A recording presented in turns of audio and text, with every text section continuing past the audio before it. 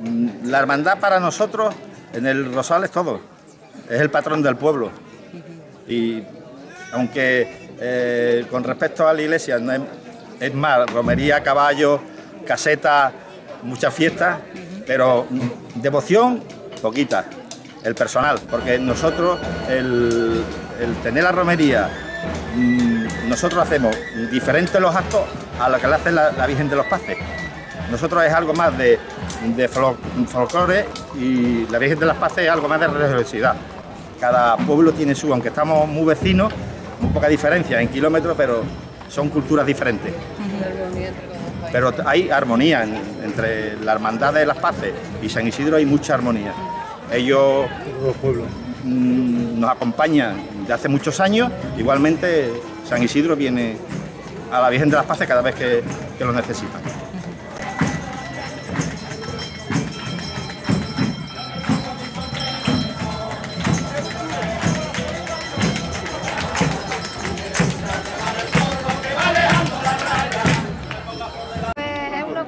Vivido desde chiquitito.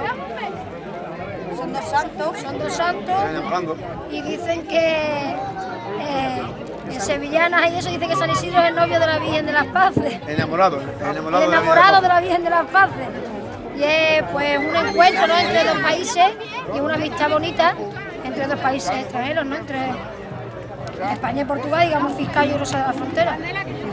A- a- hace muchos años, señora. Eso es un hermanamiento que hubo entre Vilaverde, Ficallo y Rosal y ha seguido la tradición. Hay mucha gente que aquí está casada o él es portugués o ella. Entonces estamos muy mezclados entre España y Portugal aquí Fiscallo. Una relación muy bonita porque mm, es algo nuevo, novedoso que yo no conocía, eh, una relación transfronteriza muy bonita que antiguamente, históricamente no existía, era todo lo contrario, era bélico y ahora es paz, amistad y buena armonía. Pues sí, es una manera de unir dos pueblos. Que tenemos habla incluso distinta, pero vivimos la, la fiesta igual.